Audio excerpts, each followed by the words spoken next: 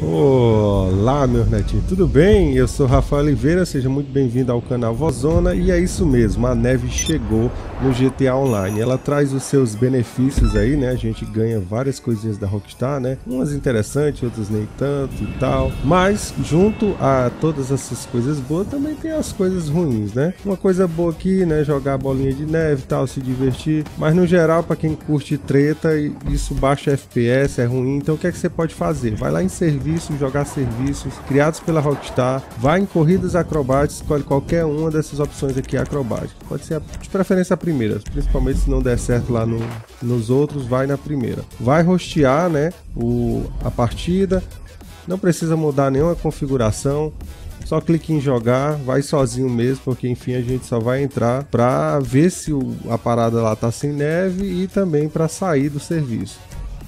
Né? Chegou aqui no serviço, tudo que tu tem que fazer é pula aqui para qualquer um dos lados, tu vai cair para poder dar restart. É, é, óbvio que tu também pode manter o F pressionado, tá? Mas é interessante que tu caia até para ter certeza de se o mapa que tu escolheu, ó, o serviço, não tá com neve. Ó. Observa aqui que no serviço não tá com neve, né?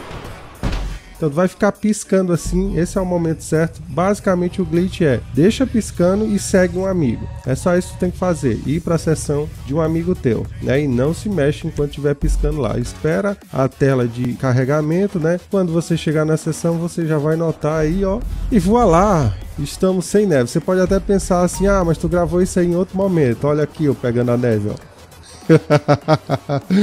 né? Então isso aqui é uma dica para você que não curte muito a neve, seja pelo aspecto visual, seja porque baixa FPS do seu computador, porque é ruim para tretar, enfim, existem vários motivos aí para você não curtir e essa é uma forma para você remover. Então eu espero que você tenha gostado, assim como eu. Se gostou já sabe, clica em curtir. Se você não é membro, né, primeiramente agradecer aí os membros do canal, né, Capinchão, no Betão, Ricardo Marco Longo, TKL Place. Mas se você não é membro, quiser ver como é que funciona, basta clicar nesse botãozinho, seja membro. Lá vai ter todas as assinaturas disponíveis e os benefícios que cada uma te oferece, beleza? Não esquece de compartilhar esse vídeo com aquele seu amigo que também sofre com esse mesmo problema. E não fica só nesse vídeo não, tem muito mais vídeo interessante aqui, ó. Só clicar em um desses aí.